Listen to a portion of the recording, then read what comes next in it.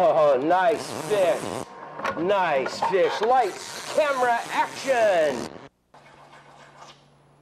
Sticky sharp to the nail. That's really important. Hello, everyone. I'm Dr. T. Your host today for this film short on how to properly sharpen your hook. I need three types of sandpaper to do this. Not only am I looking to make a sharp point on my hook, but I'm looking to design a better needle type shape so that it penetrates deep into the head of the fish, all right?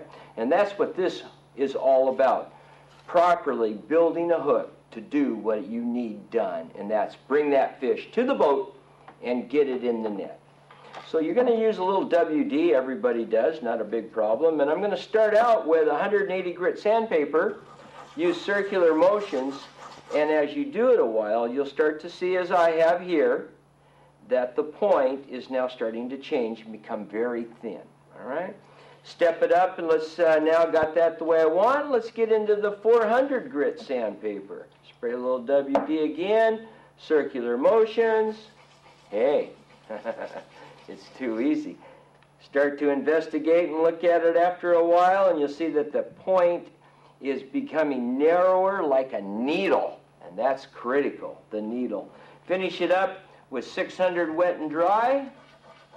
Add just a little bit more WD, not a problem.